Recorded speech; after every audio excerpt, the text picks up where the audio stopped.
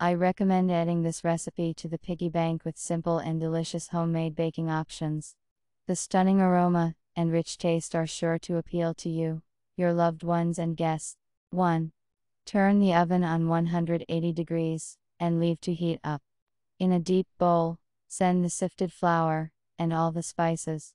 Gently mix and set aside for a while. 2.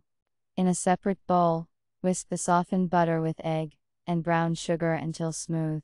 3. Pour in the dry ingredients, pour in the molasses and hot water, mix everything thoroughly. 4. Put the dough into a mold, smooth it out, and send it to the oven. Bake the cupcake for about 35 40 minutes until ready. 5. To make caramel, melt the sugar. 6. Add diced butter. 7. And pour in the cream. 8. Add salt at the end. As soon as the caramel has become golden and completely homogeneous, remove from the heat and cool.